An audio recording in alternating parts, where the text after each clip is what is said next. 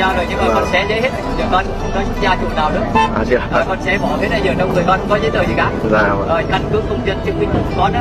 Dạ rồi nhưng mà Vâng. con xé giấy hết giờ con không có gia chủ nào nữa à chưa. Rồi con xé bỏ hết đây giờ trong người con không có giấy tờ gì cả. Dạ rồi.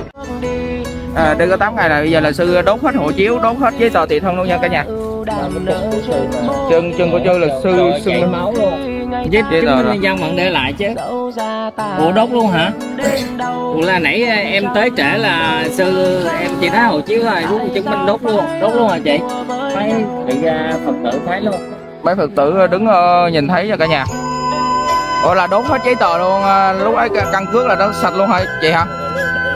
Cháy hết luôn. Trời trời. Vậy lỡ sau này mình qua ấn độ mình ấy thì sao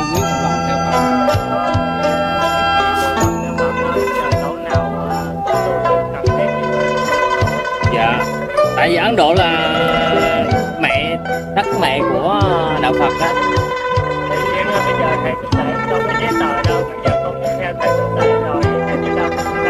Đi có 8 ngày thôi là giờ là xé bỏ giấy tờ tùy thân tức là họ đang hủy hội quyền công dân của mình. Nên à, những người mà hủy hội quyền công dân của mình thì à, nên đưa qua nước khác ở đưa qua Campuchia hoặc là Lào hoặc là Thái Lan nữa. Không thể nào đợi ở đất nước Việt Nam.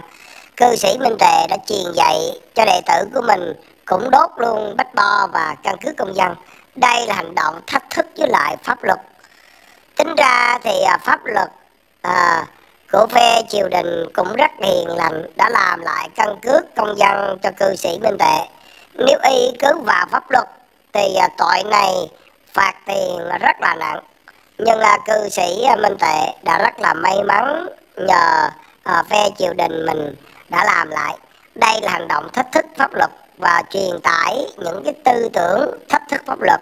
Nên à, các vị các bạn mình à, thấy cư sĩ minh tệ có những hành động đó chúng ta đừng nên bắt chước một kẻ đang nói chuyện vớ va vớ vẩn như vậy. Chúng ta đừng nên bắt chước những việc như thế này.